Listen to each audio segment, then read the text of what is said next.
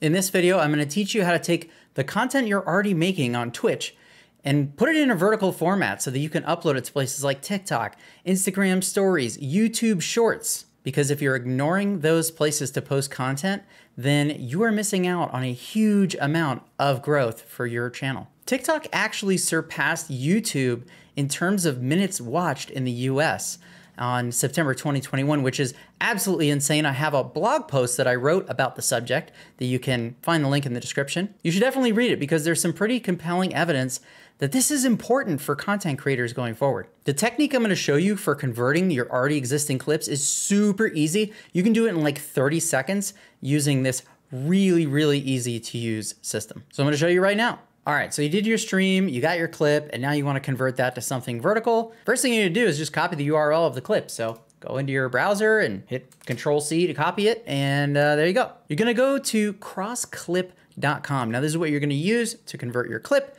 to a vertical format, edit it so you put the stuff that you want in it where you want it, and then you download it and upload it where you want it to go. This is great for TikTok, Instagram, Reels, YouTube Shorts, all that kind of good stuff. And you should probably create an account because you're gonna be able to store all the things that you've made in one place in case you need to go back and do something with it again. Just paste your little thing there, boop.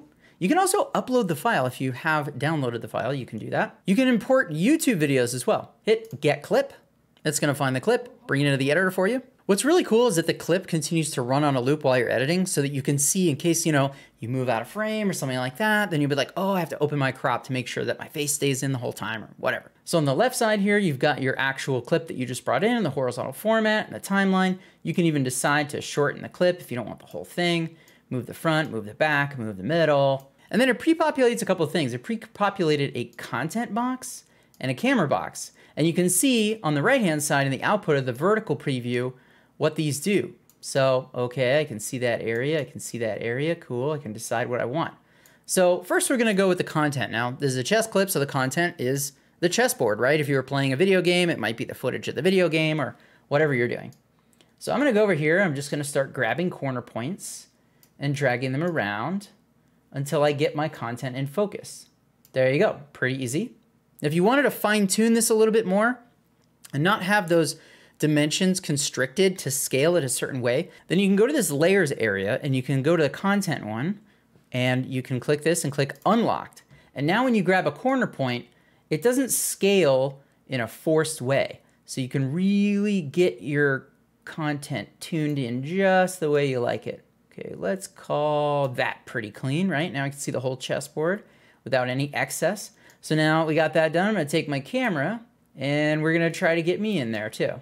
Cool.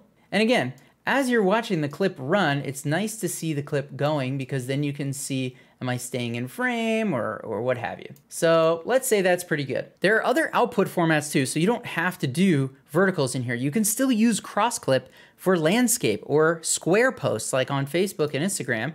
Um, and it still gives you this kind of tool where you can decide what is shown. So you don't have to take your clip from Twitch or wherever, put it in like a whole video processing editing software and do a bunch of complicated stuff. You slap it in here, move things around to what you want to see, export. This blurred background is kind of cool because if I go into editor options and I add show output borders, I get those same fields over here too. So even though I've sent the content over, I can also scale the content within the output too. So if you want to have this like effect that you'll see a lot of creators have where they have like the blurred footage of their gameplay content behind the actual output, then you can do that and then just um, turn this off to get rid of the borders to see what the final product looks like. If you have like an edge hanging over that you want to fix, then you can go in and you can fix those edges so they look nice and lined up and